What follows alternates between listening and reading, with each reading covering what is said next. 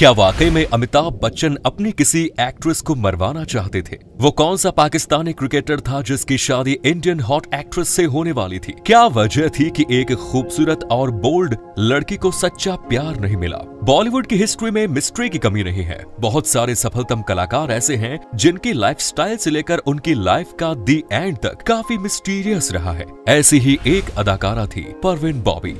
जिनकी ज़िंदगी का अंत देखकर लोगों के मुँह से केवल यही बात निकली कि भगवान ऐसी मौत किसी को भी ना दे। आज हम परवीन बॉबे की ज़िंदगी के कुछ अनछुए पहलू लेकर आए हैं। इस वीडियो को पूरा देखने के बाद आपके मुँह से भी यही बात ज़रूर निकलेगी कि भगवान ऐसी ज़िंदगी किसी को ना दे। वो बहुत ही खूबसूरत थी मॉडर्न और स्टाइलिश इतनी कि उसके फ़िल्म इंडस्ट्री में आने के बाद हीरोइनों को ट्रेडिशनल लुक से अलग हटकर ओपन माइंडेड और मॉडर्न लुक में देखा जाने लगा। इनका पूरा नाम परवीन वली मोहम्मद अली खान था। 4 अप्रैल उन्नीस सौ उनचास को गुजरात के जूनागढ़ में पैदा हुई। परवीन अपने माता पिता की इकलौती संतान थी। परवीन को अपनी बेटी के रूप में गोद में देखने के लिए माता पिता को शादी के बाद लगभग चौदह साल का इंतज़ार करना पड़ा। जब परवीन 10 साल की थी, उसी समय उनके पिता इस दुनिया को छोड़कर चले गए। अहमदाबाद के माउंट कार्मेल स्कूल में परवीन की स्टार्टिंग एजुकेशन हुई। अहमदाबाद की जेवियर्स कॉलेज से ही इन्होंने इंग्लिश ऑनर्स की स्टडी भी की। स्टडी के साथ साथ परवीन मॉडलिंग में भी ट्राई कर रही थी। एक बार जब परवीन बॉबी मिनी स्कर्ट के वेस्टर्न आउटफिट में सिगरेट के कश लगा रही थी, तभी फ़िल्म निर्माता और निर्देशक बी आर एस इसारा की नज़र उन पर पड़ी। उन्होंने परवीन को अपनी अपकमिंग फ़िल्म चरित्र में फीमेल लीड रोल के लिए कास्ट कर लिया। इस फ़िल्म में उनके अपोजिट काम कर रहे थे। अपने जमाने के क्रिकेटर रहे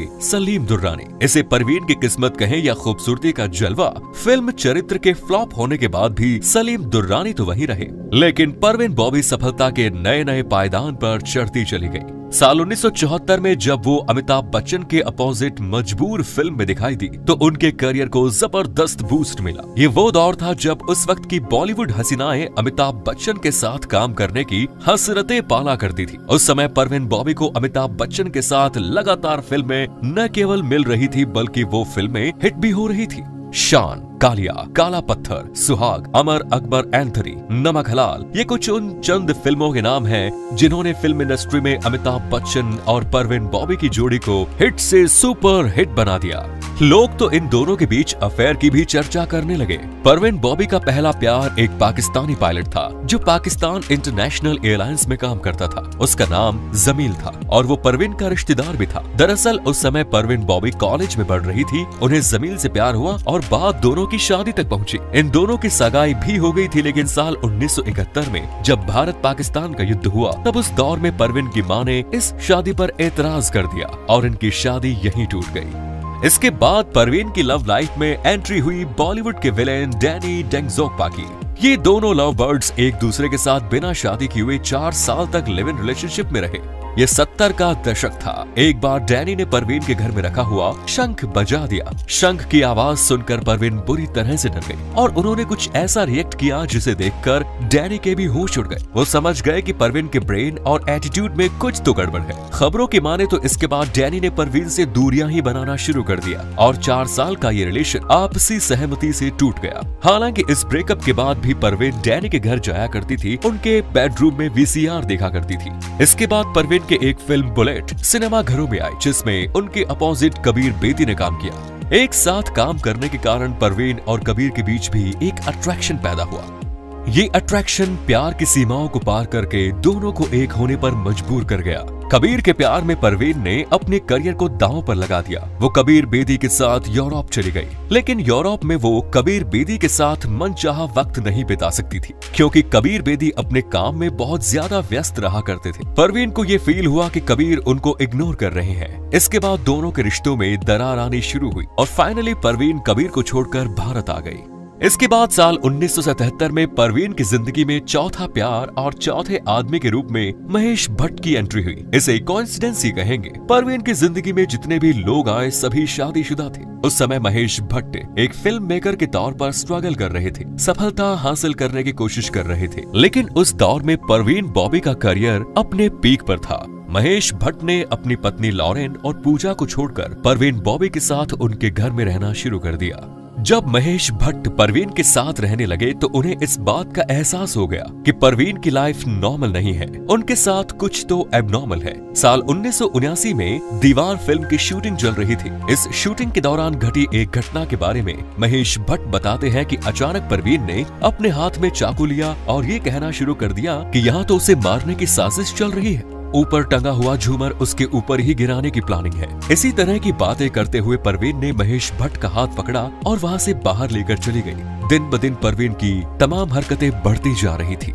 एक बार परवीन बॉबी महेश भट्ट के साथ कार से कहीं जा रही थी। अचानक उन्होंने कार का दरवाज़ा खोला और ये कहना शुरू कर दिया कि इस कार में बम रखा हुआ है। उनकी इस हरकत से महेश भट्ट भी हैरान रह गए। परवीन बॉबी के मन में ये डर बैठा था कि कोई उन्हें मारना चाहता है। जब डॉक्टर को दिखाया गया तो डॉक्टर ने बताया कि उन्हें सीजोफ्रेनिया नाम की बीमारी है। डॉक्टर उन्हें ठीक करने के लिए इलेक्ट्रिक शॉक देना चाहते थे, लेकिन महेश भट्ट इसके लिए राज़ी नहीं हुए। परवीन के ठीक होने की संभावनाएँ कम होती जा रही थी। इसके बाद महेश भट्ट परवीन बॉबी को लेकर बेंगलुरु चले गए। लेकिन परवीन के डॉक्टर ये चाहते थे की महेश भट्ट अब उनके आसपास न रहे। डॉक्टर की सलाह पर महेश भट्ट परवीन को उनके घर पर छोड़कर वापस अपनी पत्नी और बच्चे के पास चले गए। एक रात परवीन ने महेश भट्ट के सामने ये ऑप्शन रख दिया कि वो परवीन के डॉक्टर को चुने या फिर उनको। महेश भट्ट की परवीन को बेहतर चाहते थे, इसलिए उन्होंने डिसाइड किया कि अब इस रिश्ते को यही खत्म हो जाना चाहिए। उन्होंने आधी रात को परवीन का घर छोड़ दिया। लेकिन परवीन महेश भट्ट को रोकने के लिए आधे अधूरे कपड़ों में ही सड़कों पर दौड़ती हुई घर से बाहर आ गई लेकिन महेश भट्ट नहीं रुके। परवीन की ज़िंदगी में ये अकेलेपन का चौथा हमला था। इसके बाद परवीन ने अपने इलाज के लिए विदेश यात्राएँ भी की। इसी सिलसिले में साल उन्नीस सौ चौरासी में वो अमेरिका के कैनेडी एयरपोर्ट पर उतरी, लेकिन एयरपोर्ट के कर्मचारी उन्हें पहचान नहीं पाए और उनकी हरकतों की वजह से उनको बेड़ियों में जकड़कर बंद कर दिया गया। ये बात जब इंडियन एम्बेसी तक पहुँची तो इंडियन एम्बेसी ने हस्तक्षेप किया। इसके बाद वो बेड़ियों से छूट पाए। इसके बाद परवीन बॉबी जब भारत आई तो उन्होंने सुपरस्टार अमिताभ बच्चन पर गंभीर आरोप लगाए। उनका कहना था कि अमिताभ बच्चन एक अंतर्राष्ट्रीय गैंगस्टर हैं। उन्होंने उनकी जान लेने की कोशिश की। उनके गुंडों द्वारा उन्हें अमेरिका में किडनैप कर लिया गया और एक आइसलैंड पर रखा गया। वहाँ उनके कान की सर्जरी करके एक चिप लगाई गई थी जिससे कि अमिताभ बच्चन उन पर हमेशा नज़र रख सके। उन्होंने इस तरह के आरोप इंटरव्यू के दौरान लगाए। जब उनके घर की बिजली चली जाती थी तो इसकी साजिश का आरोप भी वो इंटरनेशनल गैंग पर लगाया करती थी।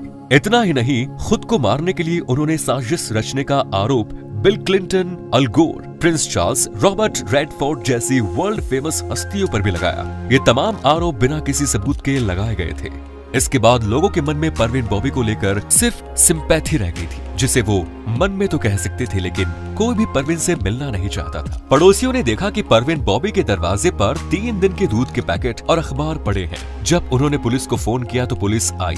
दरवाज़ा तोड़कर अंदर गई तो परवीन बॉबी इस दुनिया को छोड़कर जा चुकी थी। पोस्टमार्टम में परवीन डायबिटिक भी निकली। इसकी वजह से उनके पैरों में गैंग्रीन हो गया था। परवीन जब ज़िंदा थी तो उनके किसी भी परिवार वाले का अता पता नहीं था। उनके मरने के बाद संपत्ति के कई दावेदार आ गए। संपत्ति के विवाद पर कोर्ट ने जो फैसला दिया, उसके अकॉर्डिंग जूहू में चार बेडरूम वाला फ्लैट, जूनागढ़ की हवेली, जेवर और बैंक में रखे 20 लाख रूपए के फिक्स डिपॉजिट जैसी कुल संपत्ति का 80 परसेंट हिस्सा महिलाओं की भलाई के लिए ट्रस्ट बनाने में खर्च किया जाएगा। इस ट्रस्ट को चलाने की ज़िम्मेदारी परवीन परवीन के 80 वर्षीय चाचा मुराद खान को दी गई। परिवार वालों को कुछ नहीं मिला। कहते हैं कि परवीन ने अंतिम समय में ईसाई धर्म अपना लिया था और उनकी अंतिम इच्छा थी कि उनका क्रियाकर्म ईसाई मान्यताओं के अनुसार हो। लेकिन उनके परिवार वालों ने मुस्लिम रीति रिवाज के अनुसार परवीन को उनकी माँ की कब्र के बगल में ही दफना दिया। तो दोस्तों, ये थी परवीन बॉबी की पूरी कहानी। उम्मीद करते हैं की आप कुछ नया जानने को मिला होगा। इस वीडियो आरोप आपकी क्या राय है, कॉमेंट्स में ज़रूर बताइए। मिलते हैं नेक्स्ट वीडियो में। जय हिंद, जय भारत, वंदे